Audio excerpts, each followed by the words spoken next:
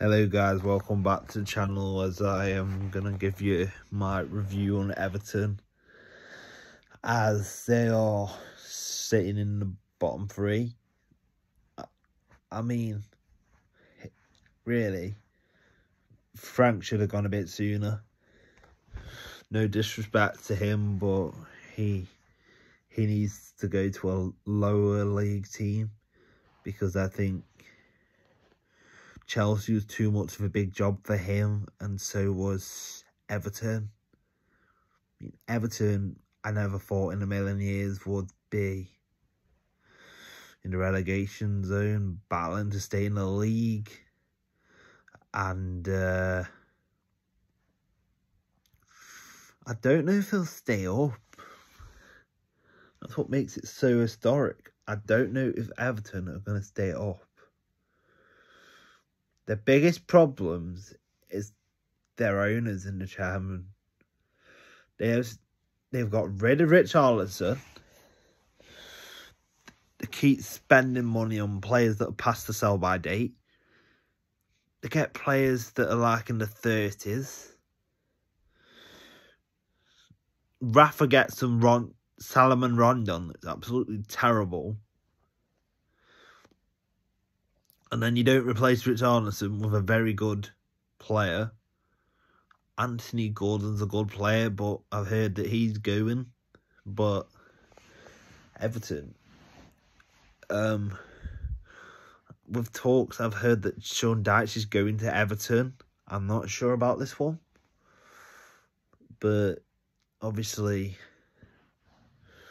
Conor Coady will wish he had stayed at Wolves. Um, obviously Everton are in a mess.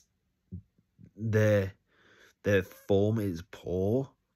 They're lacking confidence. They're not scoring goals. They're very leaky at the back. And if I was an Everton supporter, I'd be a bit frustrated because obviously Everton, you wouldn't expect to be fighting for relegation. You'd expect them to be top six or top ten or something like that.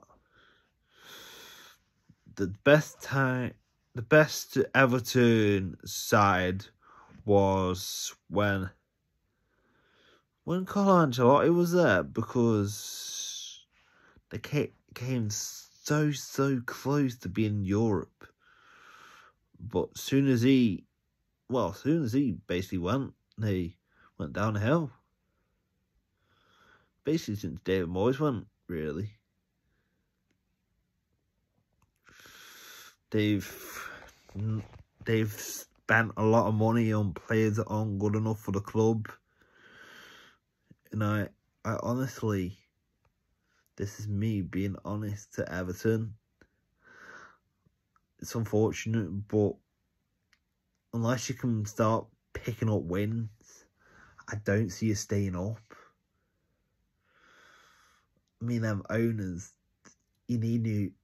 Well, you don't need new owners. You just need to bring in right players. This manager, whoever they do have next, I know it's rumored to be Sean Dyche, but I don't know whether it's true or not. But you've gotta, you've gotta pick this next manager's got to pick up wins to get you fans right behind them. You were behind them. You can blame the owners. It don't matter who. It doesn't matter who spends the money. You can spend loads of cash and be absolutely terrible. I mean, look at look at your rivals, Liverpool, for example. Since lost Mané, they've gone downhill.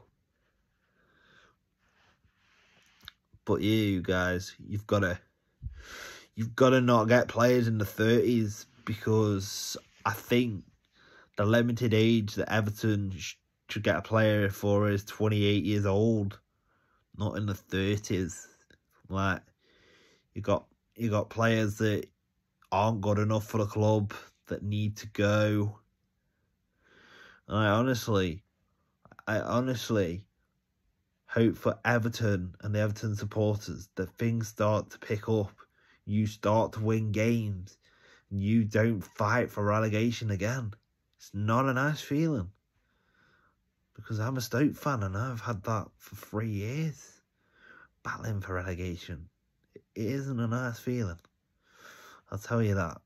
But Everton fans, my message is just back your team. I know it's a difficult one, but I think you will just about stay up. Just about. And I honestly hope you do stay up, and I hope the things improve at the football club. And thanks for watching, subscribe, and comment below and like.